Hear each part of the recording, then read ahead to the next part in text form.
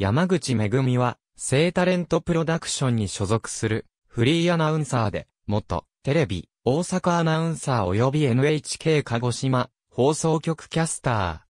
ー。兵庫県神戸市の出身。中学生時代からのアナウンサー志望で、中学校、高校を通じて、放送部に所属。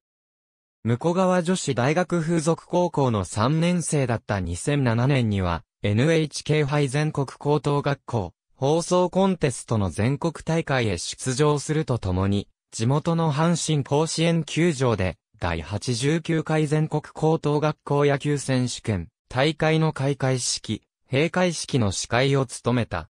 向川女子大学への進学後に、管理栄養士の免許や日本漢字能力検定2級などを取得。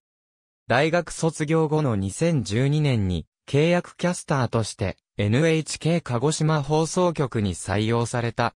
2014年4月1日付で有期契約のアナウンサーとしてテレビ大阪へ移籍。2016年3月31日付で契約期間を満了したことや結婚したことを機に高木めぐみという名義でフリーアナウンサーへ転身した。フリーアナウンサー転身1年目の2016年度には関西ミュージックボックス並み罠のパーソナリティを担当。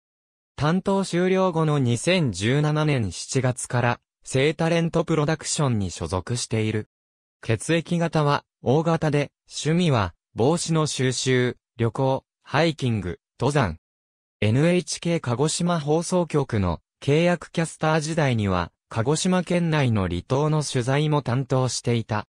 また、ザウの名として、なんとかなるやろという関西弁を挙げている。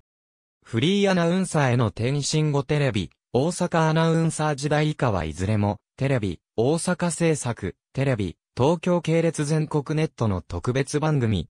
NHK 鹿児島放送局キャスター時代。ありがとうございます。